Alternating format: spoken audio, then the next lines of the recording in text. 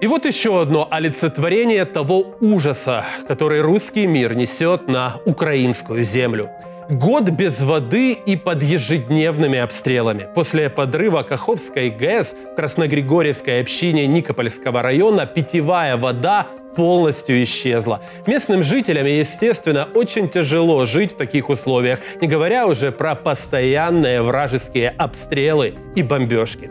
Детали смотрите прямо сейчас в сюжете журналистки ТСН Анастасии Неверной. За год после подрыва Каховской ГЭС море здесь превратилось в лес. Ивы выросли до 5 метров в высоту, полностью отобрав доступ к воде. Озерца воды между деревьями – это все, что осталось от Каховского водохранилища. Год назад оно ушло прочь, и весь юг, а с ним и Никопольский район Днепропетровщины остались без питьевой воды.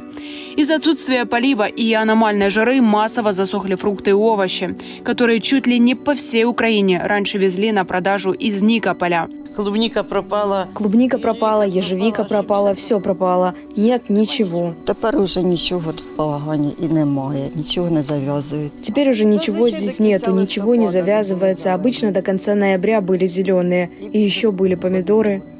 Жители села ожидали новый магистральный водопровод, который за государственный счет строители тянули из Запорожья до Покрова.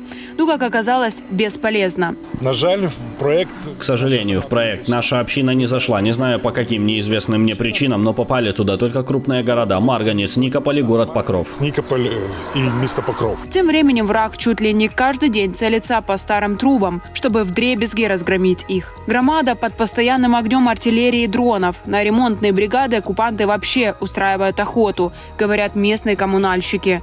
майже щогодини. У нас Практически каждый час у нас угроза артобстрелов, угроза атаки дронов камикадзе. Если вражеская армия видит проведение некоторых работ, которые проводятся на территории населенных пунктов в зоне видимости, практически всегда они, эти люди, подвергаются опасности. Более года жители прожили без воды и под ежедневными обстрелами. И только недавно питьевая вода с кранов таки побежала. Какой ценой это удалось сделать, смотрите в следующих выпусках.